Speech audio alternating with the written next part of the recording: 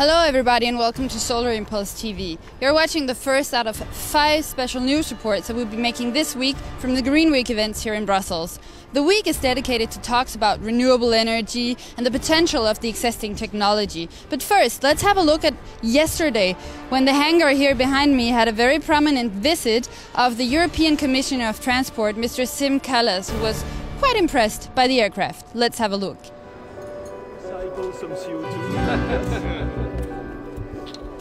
Cycle some CO2. if we continue just so and are not doing anything, we will simply will, will very soon will be in, in the positions that transport will will not develop at all, and will not function at all, because we have two major issues. One is congestion, and another is a shortage of, of uh, or dependency of fuel. We must we must move. Different things. Who shows the leader?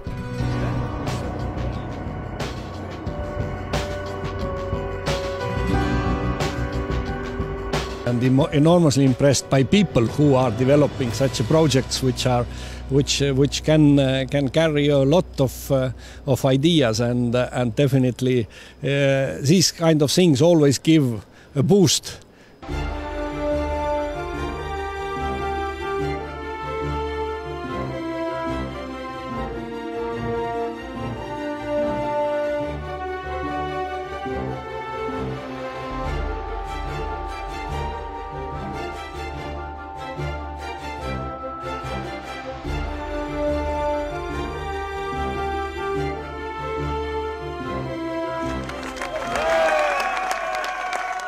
if it's possible to fly without fuel or oil uh, or uh, uh, fuel produced from fossil fuels, why it's not possible in these other areas. Although it's night, It's impressive. it's incredible. These are incredible technologies. For 100 watts, all the leading edge. If you want to be successful, you should not sleep and you should not miss this possibility to develop. So it's uh, everything is, is, is relative, and of course, um, front runners are always a winner. All the best.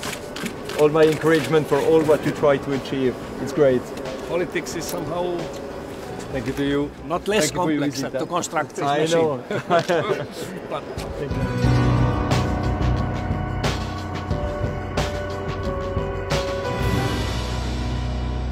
As you could see on the images, it was a very enthusiastic Commissioner for Transport who came by yesterday. Later on in the evening, a lot of other enthusiastic people paid a visit to the hangar, among them very prominent politicians. We managed to speak to President of the European Parliament, Mr. Jerzy Buzek, Viviane Reding, Commissioner for Human Rights, Justice and Citizenship, and of course, Commissioner for Climate Action, Connie Hedegaard. Here's how it went.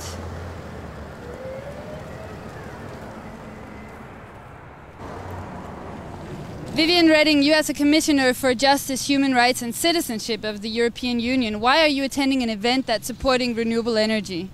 I am most of all the Vice President of the European Commission, and as such, I represent the whole European Union and the whole European Commission for this event.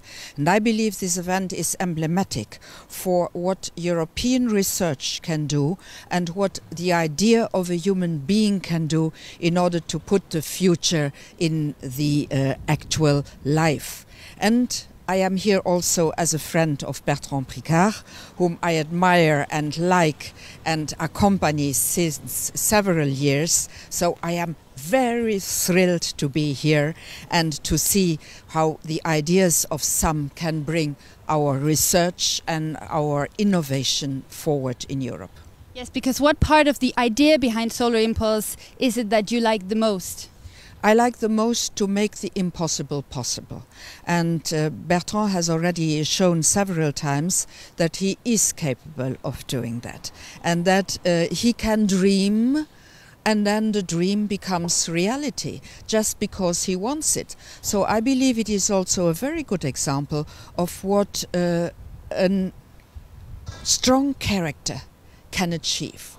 If you want to limit the unlimited to something you can do today, you have the possibility to do it. And I think it's wonderful.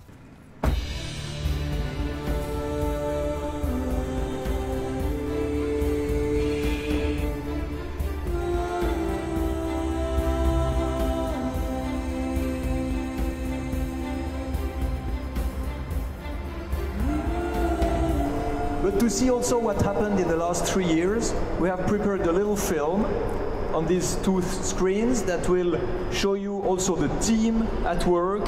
Can you please launch the film?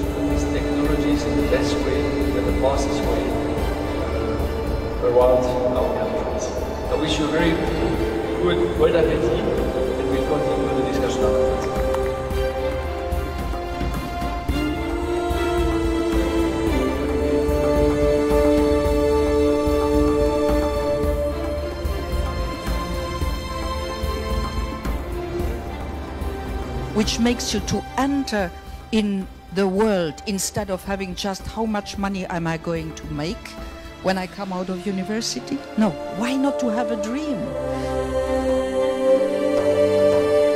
Mr. President Jerzy Buzek, thank you very much for joining us here. Why did you choose to come here tonight to this Solar Impulse dinner party? Well, thank you very much for invitation. Uh, well, I am educated as engineer, so for, for me, inventions, not only innovations, uh, are of crucial importance.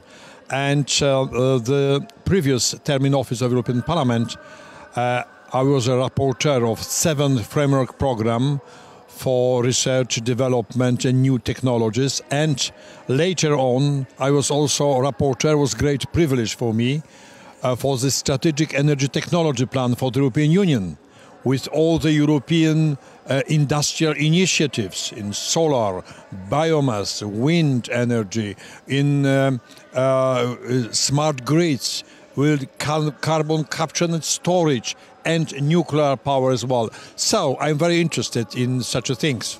So your your interest in technology is something, but then what does it make you feel to see a let's say a technological invention as unique as the solar impulse aircraft? Uh, that's not only uh, my my my natural um, behavior to be closer to the to the technologies and new inventions, but it's a great future of the European Union. We should not compete and to have a dumping prices because of no protection of environment or climate or um, not uh, having a, a social aids for our citizens.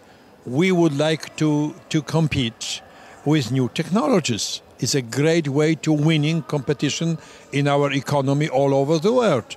So it is so important. It's one vehicle only, but with a great movement forwards in many industries. It was like, you know, maybe it's not comparison, but let us re- re- remind us once again, landing on the moon. Of course, it was enormous technological achievement, but uh, on the on the side of the Apollo projects, they they discovered so many things from very small to very big that for next 20 30 years as we could see american industry american tech, uh, research technology was the first all over the world. Now chinese japanese and i hope european union will be competing in such a things we need such a projects it's great for development the whole European Union. So yes, also one of your six main points that you wanted to work on as a president of the European Parliament is an European energy community. What is that? Well, uh, it is about uh, making our, our energy available for everybody. So it means security of supply. Secondly, it means environmental protection, climate protection, and third, to make it as cheap as possible because everything, our competitiveness, depends on the prices of energy. And uh, we would like to achieve it together with former President of the European Commission, Mr. Jacques Delors. We launched this idea. Uh, we would like to achieve it through uh, open, free, uh, complete market for energy. For example, cross-border connections inside European Union for gas, for electricity. Second, with joint research in energy issue, very promoting for our economy and new achievements. And third, common purchasing or at least coordination of purchasing gas and electricity and any other energy resource from outside of the European Union because uh, we are competing from inside European Union for our uh, uh, uh well um, main uh, energy suppliers. And we are weak in this competition if we are united as European Union in our negotiations, we would be much stronger. So it's very easy, very simple. It's something like umbrella on our common energy policy in the European Union. I think it will be helpful for every citizen because it's the most important. Our citizens reply on our ideas. So even though it sounds easy, it also sounds difficult. But thank you very much for joining us here tonight, thank Mr. you very President, much, and, and congratulations for for the constructors and inventors. Great idea. Thank you very much, President, Vice Presidents, ladies and gentlemen. I must say it's, uh, say it's an uh, extraordinary evening. And therefore, we wanted to sort of show the big narrative, the big stories, proving that climate change is not just about climate change, although that is very important in itself.